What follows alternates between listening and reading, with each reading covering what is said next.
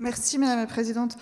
Oui, je vous avoue que l'argument euh, des rassemblements au-dessus de 10 personnes euh, qui sont interdits euh, m'étonne un peu. Comment on fait lundi matin dans, le métro parisien? Comment on fait lundi matin dans, les bus? Comment on fait dans les supermarchés?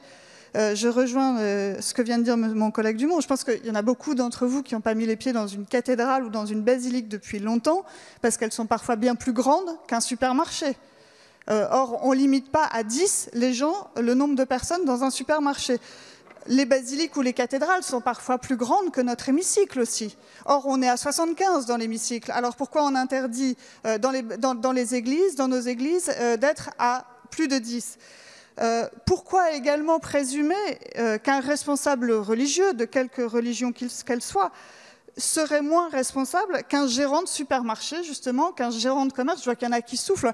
Mais c'est vrai que quand on pense que la liberté, euh, la liberté culturelle euh, n'a aucune importance et qu'il faut, je reprends vos mots, Monsieur le Ministre, il faut avancer, balayons tout ça d'un revers de main, puisqu'en fait les croyants euh, ne sont pas très importants finalement, et ils finiront bien par obéir. Donc on n'a pas interdit aux croyants de croire, bah, merci de votre grande bonté, Merci de votre grande bonté, c'est très gentil à vous.